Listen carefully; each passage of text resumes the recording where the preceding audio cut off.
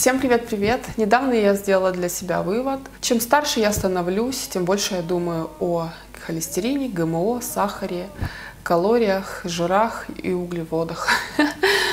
И не зря, на самом деле, не зря я о них думаю, так как э, мы есть то, что мы едим. Это на самом деле уже факт подтвержденный. Я очень давно слежу за своим питанием, и мои самые первые видео в YouTube как раз-таки были о том, как я похудела после родов. С тех пор прошло примерно 4 года. 4 года это не маленький срок для того, чтобы что-то поменялось у нас в жизни, появилось что-то новенькое. Взгляды мои тоже немного поменялись, но в принципе схема осталась одна и та же. Но сразу хочу сказать, что я не идеальная, и э, семья у моя тоже не идеальная. Мы э, иногда можем позволить себе кушать, что попало. Но, тем не менее, каждый день я думаю о том, что я ем, и каждый день я думаю о том, что я буду есть завтра и что же будут есть мои близкие люди. То, как я питалась последние года, это, оказывается, называется интуитивное питание.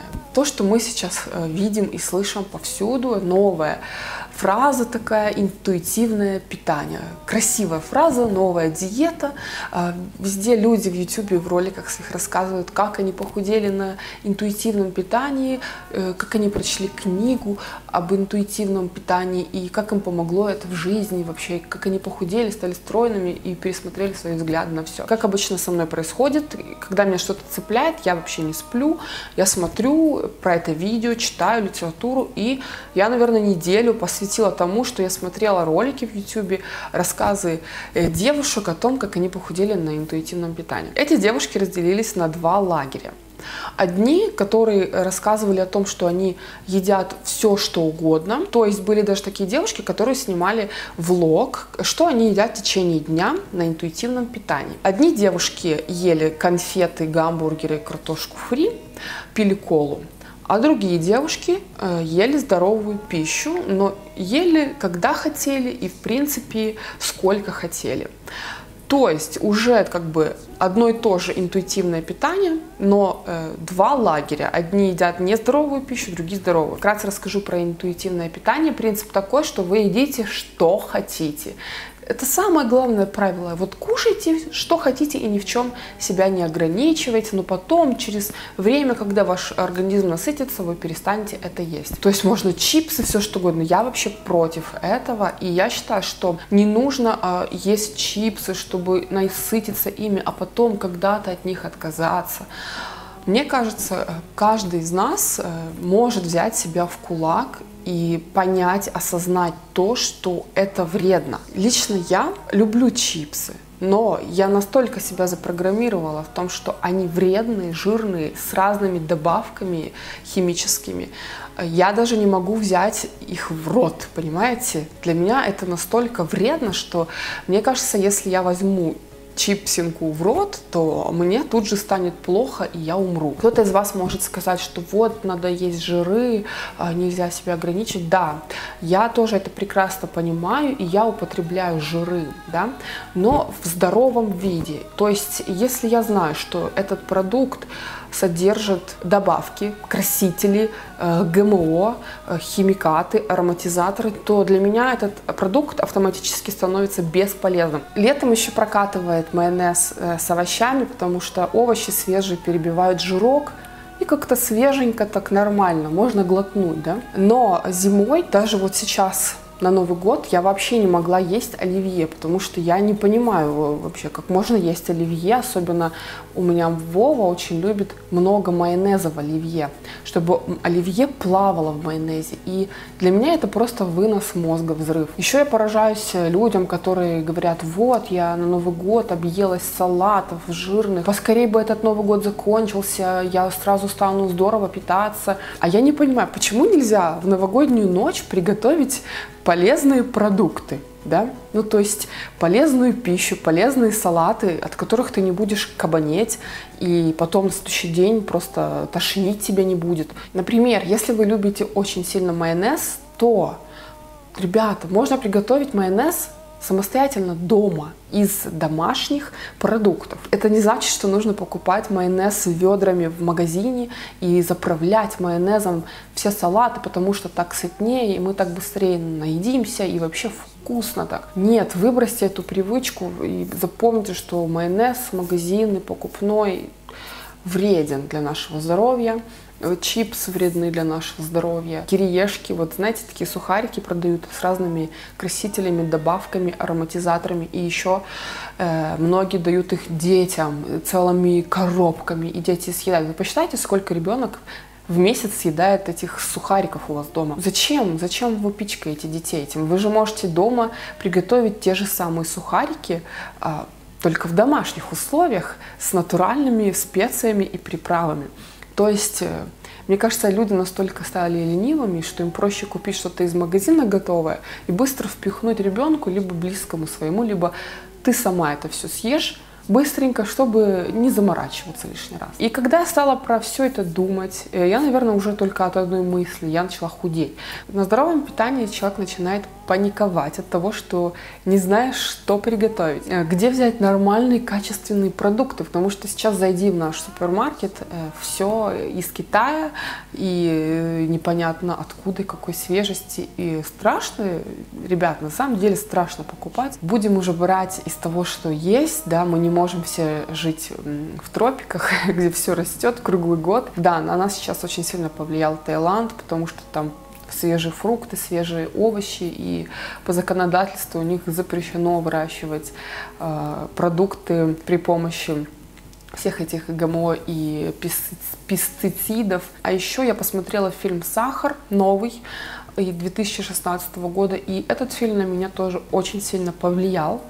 Но это не значит, что вы должны полностью отказываться от сахара, от фруктов, там, от всего на свете. Этот фильм нужно воспринимать как подсказку, чтобы вы уже интуитивно после просмотра знали, как вам примерно действовать и что приводит к тому или иному сбою да, в вашем организме, чтобы вы уже осознавали весь этот процесс. Поэтому обязательно посмотрите фильм «Сахар», кто не смотрел. Особенно это касается тех мам, которые пичкают своих детей э, бутылками с кока-колой или с фантой или с сок, соками натуральными. И дети выпивают по литру в день, и я просто не могу на это такое смотреть. У меня сердце кровью обливается, мне жалко детей. А моя дочка Сара этого не ест и не пьет но она тоже любит, и э, я хочу внушить ей то, что это не полезно. Она может это пить, я ей не запрещаю, знаете, бывает такой, ой, не пей, не ешь, не кури. Э, она завтра пойдет, спрячется за угол и все это выпьет, да, если я при мне нельзя, например.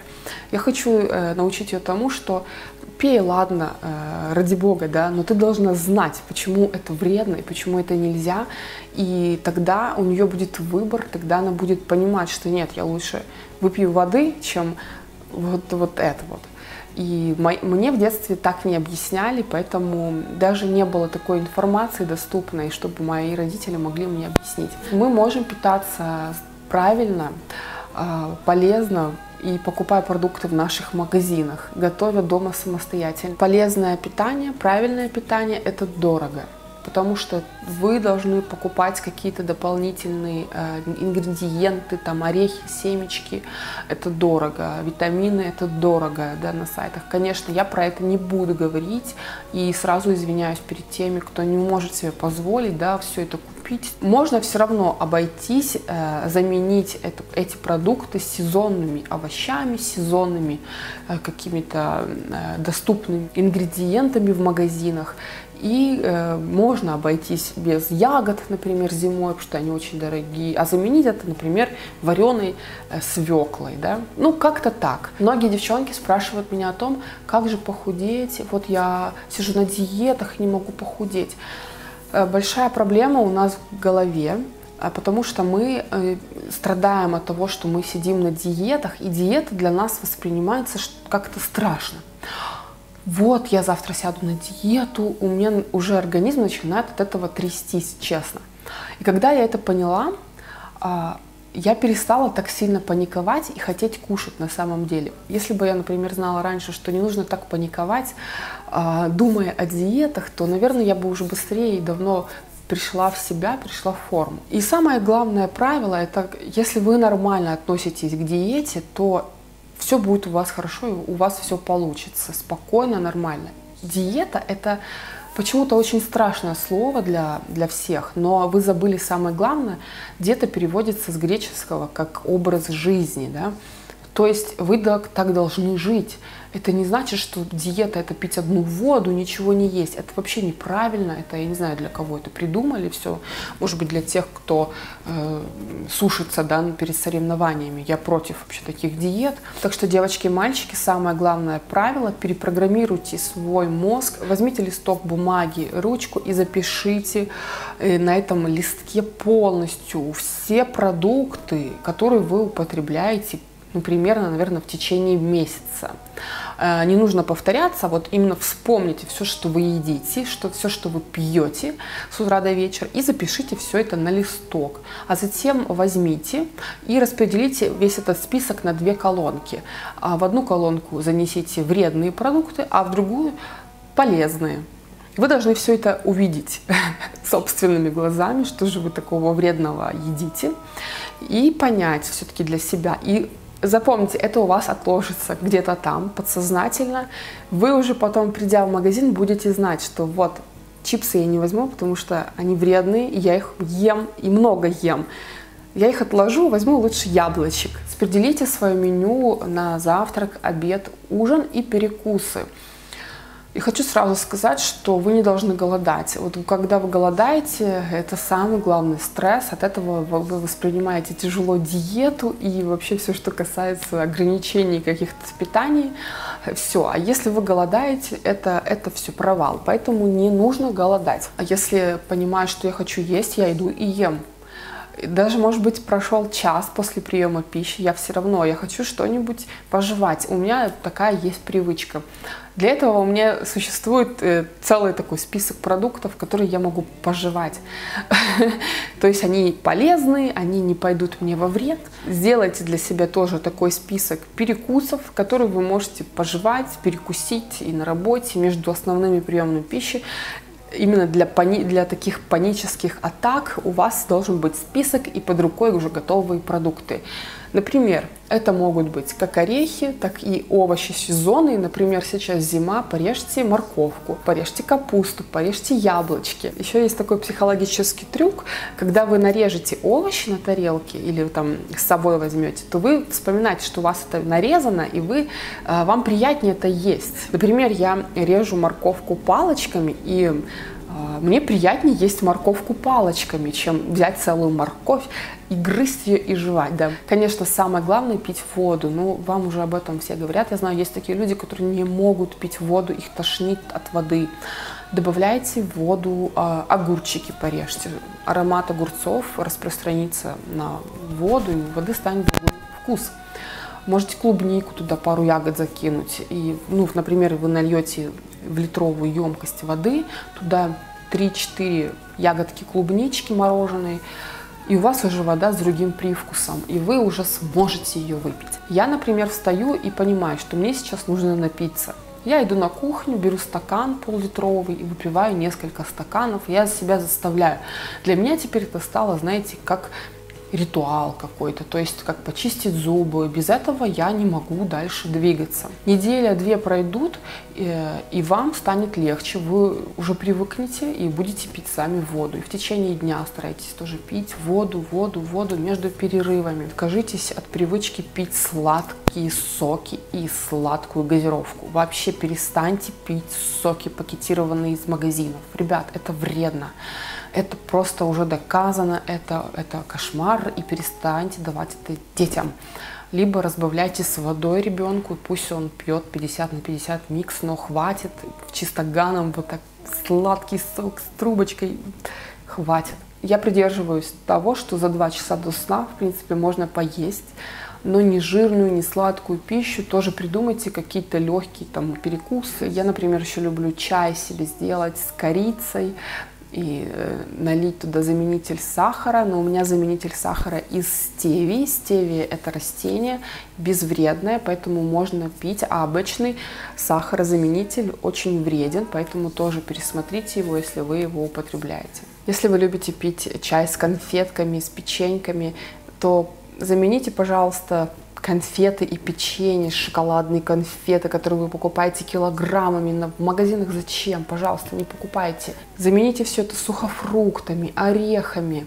Это намного полезнее. И, знаете, есть такой прекрасный момент, прекрасная отдача от такого питания, когда вы будете питаться правильно, и в течение нескольких месяцев у вас уже будут выходить ваши шлаки, Э, и всякое-всякое из организма, вам станет намного легче. Вы заметите, как ваше настроение улучшится, как вы будете с легкостью просыпаться, у вас будет намного больше энергии, чтобы работать, заниматься. Конечно, золотое правило еще расходуйте больше калорий, чем вы потребляете, если вы хотите похудеть. Да, правильное питание это не только а, ваша фигура. Может быть, вы думаете, да, что зачем худеть, зачем быть худой.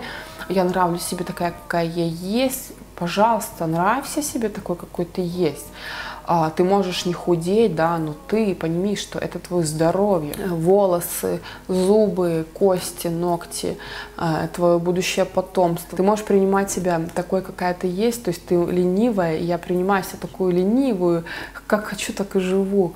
Это неправильно. Девочки, мальчики, поэтому давайте берите себя в руки, Э, и добивайтесь результатов, так интереснее жить, вам легче так будет жить, и увидите, как вокруг вас меняется мир. Поэтому вот, надеюсь, вам было полезно это видео. Желаю всем удачи. Пока-пока.